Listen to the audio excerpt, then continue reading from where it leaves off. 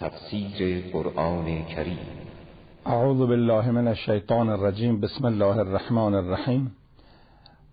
وله الحمد بعد ما احاط به علمه. اللهم صل على محمد و آل محمد. الهی انتقنی بالهدى و الهمن التقوا با فضل و لطف الهی از اول قرآن شروع کردیم. آیه به آیه تلاوت شده ما هم تفسیر گفتیم. تفسیر چند دقیقه ای رسیدیم به جزء 26 سوره حجرات و الان آیه 7 هستیم. آیه رو بشنوید. واعلموا أن فيكم رسول الله. لو يطيعكم في كثير من الأمر لعنتم ولكن الله حبب إليكم الإيمان وزينه في قلوبكم وكره إليكم الكفر والفسوق والعصيان. اولئك هم الراشدون. بدانید که در بین شما رسول خداست. شما باید اطاعت کنید. اگر او دنبال حوث شما بره دنبال اخبار شما بره چون آیه قبل رایی بود که پیغمبر کسی رو برای جمع زکات فرستاد به منطقه ای اونها آمدن استقبال ای فکر که اومدن بکشنش. برگشت گفت مردم زکات نمیدن و قصد حمله دارن. آیه نازل شد؟ گوش به حرف اینه ای دروغ میگه. فاسقه. فاسق خبر داد تحقیق کنید باید شما دوش به حرف پیغمبر بدید. نه که پیغمبر دنبال اخبار و هر چه شما شنید بود. و علمو ان فیکم رسول الله. در بین شما پیغمبر است. شما باید مطیع او باشید. اما اگر لو یطیعکم اگر او مطیع شما باشه در بسیاری از امور شما به درد سر میافتید. چون اخبار شما نسنجیده برخواسته از قرائز، حوثها، جهلها، اشتباهها، تحلیلهای نادرست. چون حرف شما اینطوریه اگر او عقب شما بیاد جامعه به فساد کشیده میشه. شما به درد سر میافتید خداوند ایمان را در دل شما محبوب قرار داد. زینت داد در دل شما. و کفر و فسوق و اسیان را برای شما مورد تنفر قرار داد.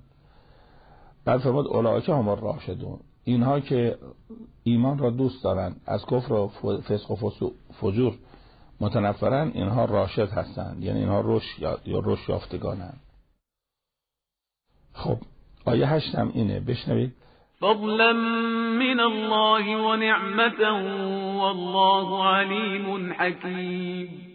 این علاقه به ایمان و تنفر از کفر یک فضل و رحمت خدایی است. خدا علیم و حکیمه. خب. و علم ان فیکم رسول الله. در بین شما رسول خداست. حضور رهبر معصوم نعمت است. بعد میگه لو یطیعکم. اگر او مطیع باشه یعنی پیغمبر باید استقلال رأی داشته باشه. نباید ما به پیغمبر خط بدیم. پیغمبر به ما خط بده.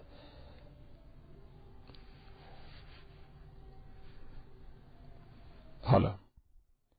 اگر می‌خوایم پیشیمون نشیم مثل آیه قبل که میگه که بر اساس یک خبر فاسقی نزدیک بود جامعه آشوب بشه کشتار بشه آیه نازل شد پیغمبر فاسق اگر خبر داد تحقیق کنید. میگه اگر می‌خواد جامعه طول خوب باشه شما گوش به پیغمبر بدید. ان فیکم رسول الله در بین شما پیغمبر یعنی پیغمبر باید در دسترس باشه. و مردم می‌تونن مورد مشورت پیغمبر قرار بگیرن چون قرآن فرمود که شاورم فی الامر. یعنی ای پیغمبر با مردم مشورت کن. مشورت با مردم طور نیست ولی اطاعت از مردم نه. مردم باید مطیع باشن. اگر یه جای حکم خدا و پیغمبر هست نیاز به مشورت نیست. طلحه و زبیر با امیرالمومنین علی علیه السلام پیشنهاد کردن که تو باید با ما مشورت کنی. پیغمبر نه بایدی نیست. اونجا که حکم خدا روشنه چرا مشورت کنم؟ مثلا حکم خدا نماز صبح داره که مشورت کنم اونجا که سنت پیغمبر روشنه به چی مشورت کنم؟ بله اونجا که قرآن و سنت نبود یه کار اجتماعی خلق و بود. اینو من با شما مشورت می‌کنم با دیگران هم مشورت می‌کنم. اما اگر چیزی حکم روشن الهی داشتیم دلیل بر مشورت نیست. مشورت با مردم طوری نیست. اما اطاعت از مردم برای رهبر مصلحت نیست. چون مردم بیمه نیستن. رهبر بیمه است. رهبر اسلامی باید معصوم باشه. در زمان غیبت حداقل باید عادل باشه. خب عادل که شد بیمه. می‌دونیم که از تو هوا هوسا حالش نمیدن. از بیرون وسوسه ها حالش نمیده. طاغوت ها حالش نمیدن. چون باید ملکه تقوا داشته باشه. باید مخالف هوا باشه. مخالف شرط مرضیت اینه. میگن کسی تقلید کن که فقیه باشه. فقیه باشه یعنی چه؟ یعنی از راه جهل گول نخوره. عادل باشه. یعنی چه؟ یعنی گناه نکند. و مخالفا لهواه باشه. یعنی حوث ها رو نلرزونه. بی تقوای اون رو نلرزونه. ها اون رو نلرزونه. طاقوت ها رو نلرزونه. اون رو نلرزونه. دست دوز تو دستی همچی کسی بیمه بشید. کسان دیگه یا فقیه نیستن یا عادل نیستن یا هوا هوس دارن. رهبر اسلامی باید استقلال رأی داشته باشه به دلیل عدالت و مخالفا لهوا بیمه هست. رهبر شما باید آدم شده که خودش میگه هرچه بگندد نمکش می‌زنن وای به روزی که بگندد نمک. اصلا دلیلی که ما پیغمبر امام می‌خوایم برای که کج میریم؟ خب وای به روزی که پیغمبر امام هم کج بره. پس او کج نمیره او معصومه. چون او معصوم هست ما باید در اختیار معصوم باشیم. مشکلاتی که جوامع به خاطر دوری از مکتب انبیا پیدا کرده همینه که جوامع طبق سریقه هاست. بعضی کشورها حدود صد بار تا حالا قانون اساسی عوض شده. صد بار بیش از صد بار قانون اساسی عوض شده. بنابراین انسان هایی که طبق سریقه ها و حوث ها تصمیم می‌گیره اینو نمیشه عقبش رفت. مثل که رهبر انسان گنجش که بشه که هر ساعت روی دیوار میشینه. خب نمیشه عقب گنجش رفت که. باید یک تثبیت ثبات قدمی داشته باشه. مثلا منبع آب می‌تونه علامت بشه. خونه شما کجاست؟ خونه ما مثلا 20 متری به منبع آبه 100 متری به منبع آبه. اون ثابته. نمیشه که خونه شما کجاست؟ اونجاست که گنجش رو دیوارش نشسته. چیزی که متغیره به درد علامت و نشونه و آیت نمی‌خوره. خب بعد فرماد حبب علیکم الایمان. از الطاف خدا اینه که انسان فطرتا ایمان رو دوست داره. و زین فی قلوبکم. حتی فاسق ها هم از مؤمن خوششون میاد. بسیار دیده شده که یک مرد مؤمنی در یه منطقه از دنیا میره حتی آدمای هرزه میان تشییع جنازه. سر قبرش میان گریه می‌کنن. پیداست که فاسق و لاعبالی ولو خودشم منحرفه اما خوبی رو دوست داره. گاهی چند تا دو شریکی یه ماشین برمیدارن یه خونه رو میدوزن. بعد وقتی می‌خوان تقسیم کنن میگن ببینید بیاد انصاف داشته باشید. کلمه انصاف میگه. بیاد با عدالت تقسیم کنیم. یعنی لفظ انصاف و عدالت دوزم قبول داره با که خود همه اموالش دزدی هستن ولی باز میگه با عدالت. یا کسی هرزه میگه میگه آقا جون فوش نده. چرا فوش دادی؟ میگه حقشه. یعنی به فوشش میگه حق. میگه فوش من حقشه. یعنی چه یعنی کارم حقیقت داشته.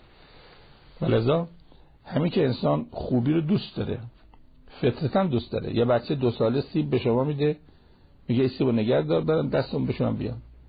میره دستش به شما برگرده میده شما سیبشو خوردی. این بلد نی امانت خیانت بگه.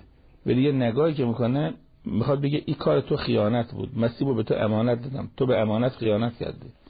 یعنی بدی رو انسان بالفطره می‌دونه. فالهمها فجورها و تقواها. خداوند ایمان را محبوب شما قرار داد. این نعمت خداست. و زینه فی قلوبکم. زینت انسان ایمانشه.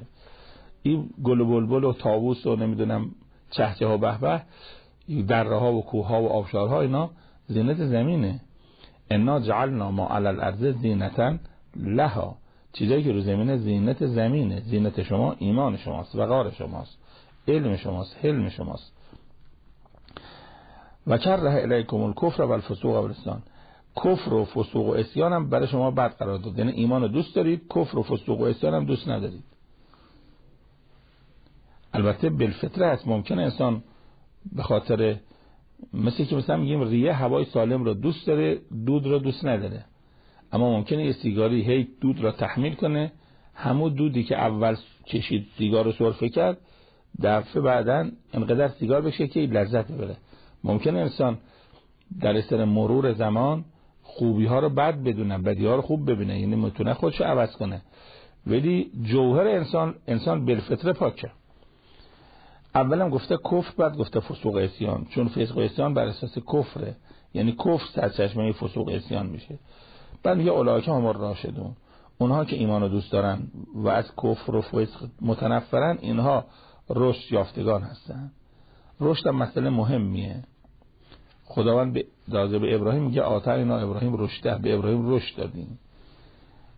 پیغمبرا می‌گفتن عهدکم سبیل رشاد می‌خوام به شما رشد بدم.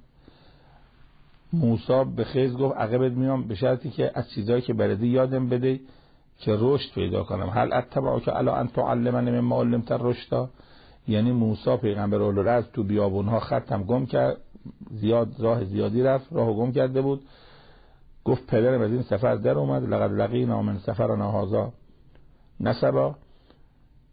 یعنی رشد به قدر ارزش داره که پیغمبر از تو بیابونا میگرده عقب یه نفر که یه چیزی یاد گیره که دوش رشد بشه یهدی الر رشد حتی فرعون هم که می‌خواد مردم گول بزنه میگه و ما اهدیکم الا سبیل الرشاد منم می‌خوام رشد بدم اما رشد فرعونی معلومه چیه؟ ما وقتی بگیم رشد سیاسی رشد اقتصادی. بله اما رشد تقوام بوده رشد تکنولوژی رشد صنعتی داشتیم.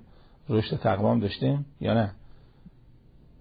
گاهی وقتا با ماشین میدیم با تلفن هم کنیم اینترنت ماهواره مترو هواپیما درآمد نفت فلان همه رشدهای سیاسی اقتصادی اجتماعی تکنولوژی هست. اما رشد معنوی نیست. دروغ بیشتر شده سوء زن بیشتر شده. باید رشد همه جانبه باشه. رشد عدالت رشد تقوا. اولئک هم راشدون رشد واقعی اینا هستن. کیا هستن؟ اینا که یک در بینشون پیغمبره. دو مطیع پیغمبره. سه ایمان را دوست دارن. چهار از کفر و فسق و اسیان متنفرن. رشد واقعی اینه. حالا رو گونی بشینه یا رو غالیه سوار اولاق یا سوار هواپیما. اولئک هم راشدون رشد واقعی این است که انسان خوبی ها رو دوست داشته باشه از بدی ها متنفر باشه. اینو میگن رشد یافته. اما یکی تمام امکانات صنعتی و اقتصادی و سیاسی همه چیز داشت اما فسق و فجور دوست داره. از ایمان بدش میاد.